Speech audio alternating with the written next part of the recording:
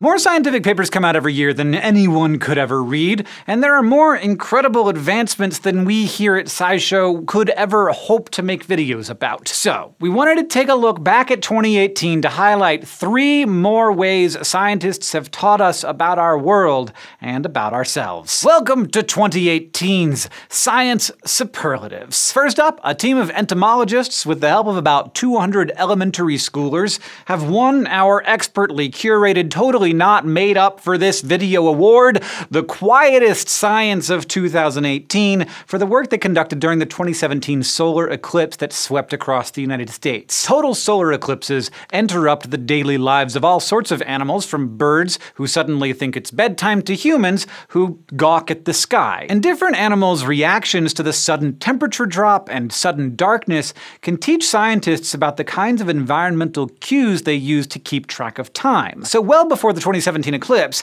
entomologists in Missouri and Oregon decided to try and use it to study bees. But they needed help, which they got from a couple hundred members of the public in Idaho and fourth and fifth graders from schools in Missouri. They left a total of 17 small microphones in fields and outside schools designed to record bees buzzing by. Afterwards, the students used a computer program to identify when individual buzzes started and stopped within the recordings. Thanks to all that assistance, the team discovered that bees are really affected by changing light levels during an eclipse. As the day got darker, they slowed down or stayed airborne longer. And during the several minutes of totality, when the moon completely blocked the sun, there was just one single buzz heard across all those different microphones, compared to an average of a buzz every couple minutes per mic in full daylight. This opens up all sorts of interesting questions like where were the bees during the darkness and whether whether they stopped flying because they couldn't see well or because of some other reason. And even though they couldn't answer those questions this time around,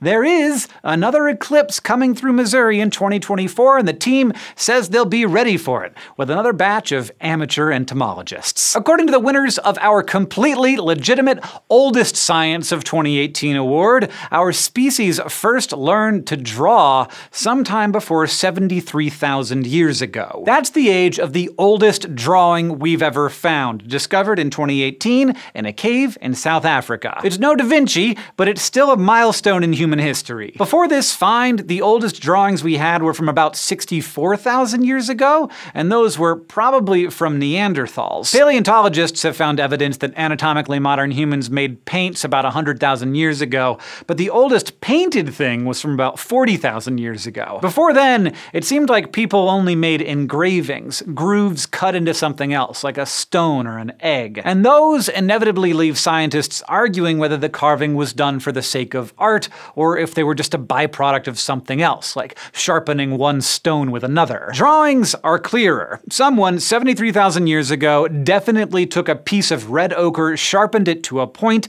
and used it to draw lines on a stone. Figuring out why, if they were drawing something or marking ownership or counting, is pretty much impossible. What we do know is that these nine lines aren't the whole story. They seem like they continue past the edge of the stone, so it was probably part of a larger rock and a larger drawing, which broke off at some point in the past. The scientists are hoping they can find the rest of the stone so they can see this ancient artist's full drawing, and maybe even figure out what the lines represent. Usually, when you say that an experiment went better than expected, it's just a way of saying that it went well. But we know that our final story today worked better than expected because the strongest indoor magnetic field in history broke the equipment designed to contain it. And since I've already done two of these, we might as well award this team of physicists from the University of Tokyo an award for Magneticiest Science of 2018. Magnetic field strength is measured in units of Tesla. Common fridge magnets might be about a hundredth of a Tesla, while the field in an MRI can reach about 3 Tesla. But that is nothing compared to the 1200 Tesla produced in that lab in Tokyo. They started with a tube of very thin copper foil surrounded by a thick metal ring